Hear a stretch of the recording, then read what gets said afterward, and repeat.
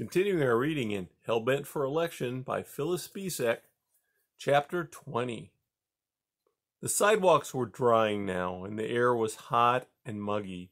The children peeled off their light sweaters, and a man going down the street carried his suitcase over his arm and went about loosening his collar.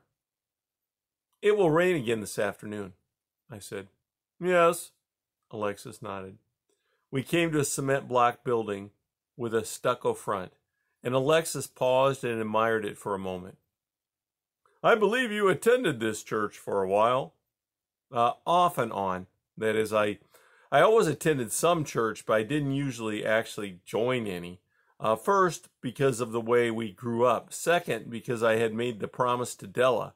Third, because of the inconsistencies between believers' behavior and the guidebook, as I have told you. I see.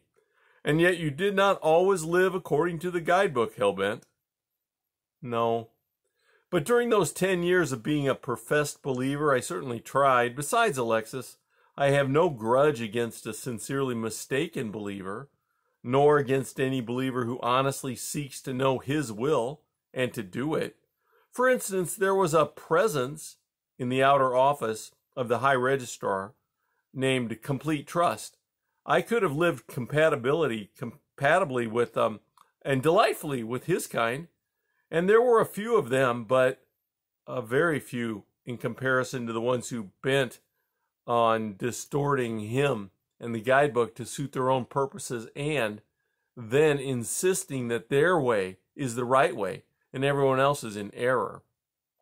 Of course, there is one thing you have not understood, Hellbent, and that is the immensity of the upper abode. Speaking in time terms, it would be quite possible for you to exist for years without ever running across one of whom you had a particularly chafing relationship.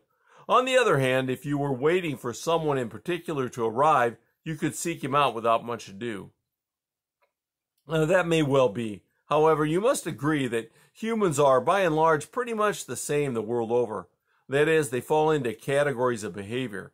So while I might not meet an individual I had actually known, I could still be expected to be exposed to his general type almost incessantly, which would be equally as bad as the individual.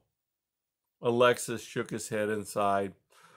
Oh, you are a stubborn and persistent one in your conviction that there is no such thing as perfect happiness. Tell me this.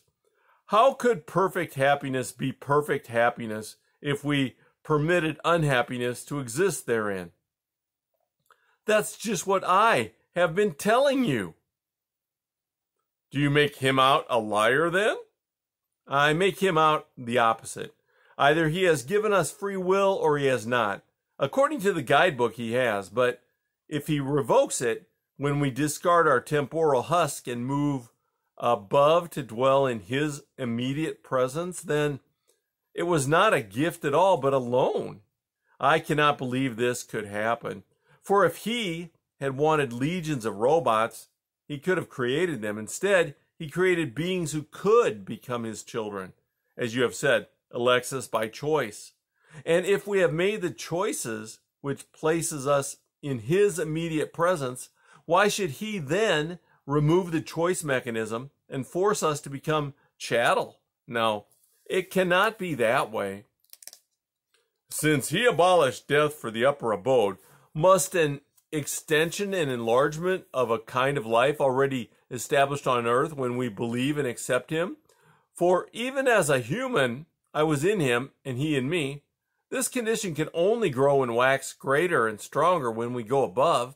He will not make slaves of us, Oh, very well, said Alexis. Have it your way, and let us go on. Tell me how you came to attend this church. As we walked slowly on down the street, I said, uh, In obedience to the guidebook, I, I knew I must attend, and since I vowed not to attend either of the churches of my parents' relatives, it was necessary to fellowship and worship elsewhere.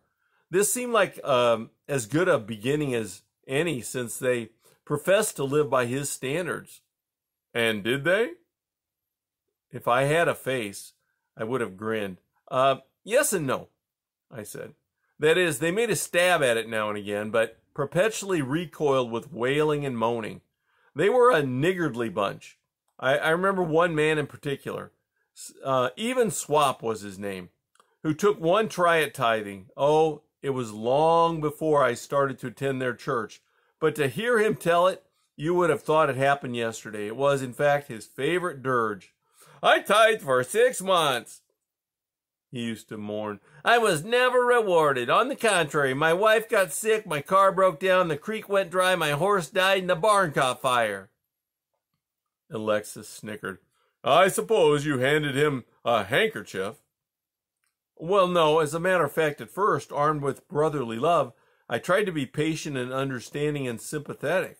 But after I've heard the lament six or eight times, I attempted to offer the explanation that we are not to expect monetary rewards necessarily, and that if it were not for him, there would be no wife, no car, no creek, no horse, no barn to begin with. But he was not the only one, Alexis. That church was full of them. There was Mrs. Parsimonious, for example. Her main grievance was the way the shepherd lived. He drives a better car than we do, she would say resentfully. His house has been redecorated more recently than ours. But did they not provide the shepherd with his house? Oh, of course. The parsonage was church property, so to speak. And did they not recognize that he might have had a, a better working budget? My no. Miss Parsimonious and her elite little group always concluded that the shepherd was drawing too large a salary and that tithing was strictly Old Testament. What do you think about it yourself, Hellbent? I thought mainly that all we have and that all we are belongs to him anyway. So there was not much point in setting up a fence at 10%. His selected people were told not to murder, for example, but he said himself that we are not even to be in anger. Likewise, his selected people were told not to commit adultery, but he said in person that to look upon a woman lustfully was wrong. Applying the same ratio of comparisons to the strictly Old Testament instruction to tithe, it's easy to see that the guidebook was not carrying much authority. It is also easy to see that I was not looked upon favorably for my interpretation. Dear, dear, but surely some of the members did not begrudge him. Very few, Alexis. Oh, there were some who tithed to the very fraction of a cent, as a matter of fact. And then they promptly made this fact known and attempted to set the pace for everyone else. One such example was named Limelight. Perfection, he would declare, is best encouraged by performance if we can see it in others what we ourselves ought to be, we can make the change more readily. Now I believe in obedience to the very letter, and this is the way I figure my family's finances. Uh, part of a cyclone, murmured Alexis. Did he fail to realize that his idea of perfection might not be true perfection at all?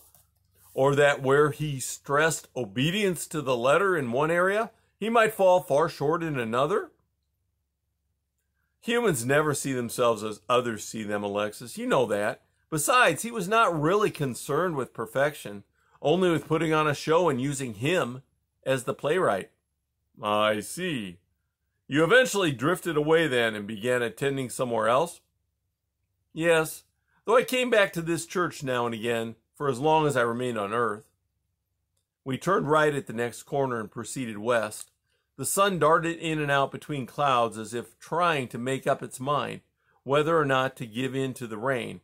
One moment glistening, glittering, and the next obscure. Looking down at the sidewalk to watch Alexis' intricacies in avoiding the seams, I noticed with some surprise that he cast no shadow. Those are the end of chapter 20.